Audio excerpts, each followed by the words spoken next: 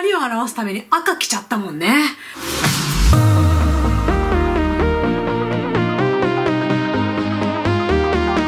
皆さん、こんにちは。愛理です。今日はですね、ちょっと私、怒ってます。そう、こんな温厚な私なんですけれども、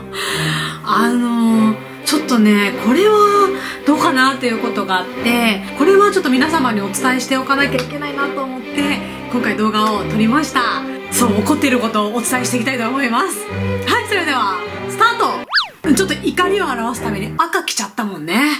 で、その私が肝心な怒ってることなんですけども、最近ですね、本当にたくさんの方から、インスタグラムの DM にメッセージをいただきまして、ありがとうございます。で、そのメッセージの内容のほとんどが、愛理さん、インスタグラムの広告に出てくるんですけど、愛理さんの許可って得られてますか？愛理さんが本当に勧められてるものなんですか？とか、そういったね、コメントをたくさんいただきました。私も実は、その広告ね、自分のには出てこないんですかね？なんか、私自身が出てるからかわかんないんですけど、私はその広告をまだ見たことがないんですけど、皆さんに写真を送っていただいたりとか、あとあの、こういった内容ですよって聞いた中を見ますと、なんか、シミに効く効果的なものを、なんか紹介してる動画に私の動画って言いますか、顔が出てるみたいなんですね。私がそのシミに効く何かを使ってることで、こんなにシミが取れましたよ、みたいな。なんかそういった感じで紹介されてるみたいで、で、皆さんね、あの写真を、その私が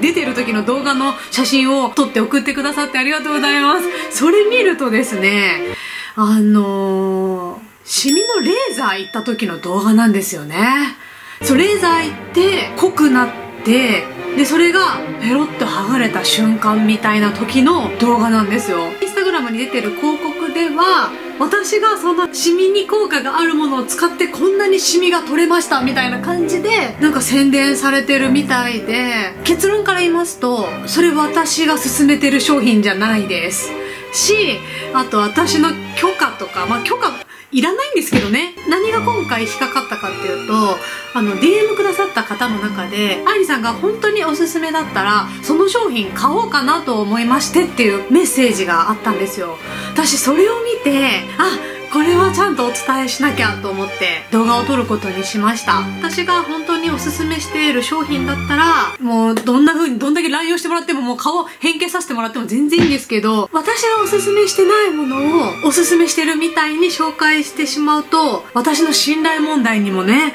あの信頼命で生きてますから。そうなので買ってしまったらどうしようと思ってそれだけが私すごく心配ですその私がおすすめしてない商品をですね。で最近ですね提供という形でお仕事させていただく機会とかお話をよくいただくんですけれども私は自分が進めたいって思うものだけをこちらで紹介したいと思ってるのでであの紹介しているものは事前に使わせていただいてで本当にいいと思ったものだけを紹介するようにしています。でそれか初めて私が使ってみたとか使ってみて私が素直な感想を伝えられるようなものだったら紹介していくかもしれないんですけれどもこれ本当にいいんですよねって思ってないものをいいんですって紹介はしたくないといつも思っていますのではいなのでそこもご理解いただけたら嬉しいです。もう本当に最近ですねたくさんの方から DM いただきましてありがとうございます。本当に皆さんが心配してくださることを本当に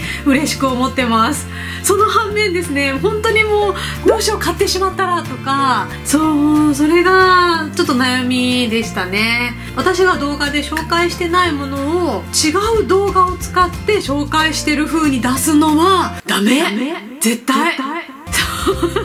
すい。ません結構怒ってますね。そうちょっと言い言い過ぎちゃったかな。でもどうなんだろう。普段は温厚なんです。すごく温厚なんですけど強くお伝えしたくて今回動画にしました。もしね私がおすすめしてるものでそれが広告になってたら私多分騒ぐと思う。広告出ましたとか。動画が出てます。とか多分ね私大騒ぎすると思うのでそうあの何も言ってないってことは違うことですかね本当に私がおすすめしているものがどこかで宣伝されてたら Twitter とか Instagram でまたお伝えしていきたいなと思ってますのでそれを見ていただけたら嬉しいなと思いますはい、ということで今日も最後までご覧いただきありがとうございました。よければチャンネル登録お願いします。それでは次の動画でお会いしましょうまたねシンボルシミまだしっかりここにいらっしゃいますのでまだ綺麗に撮れてないです。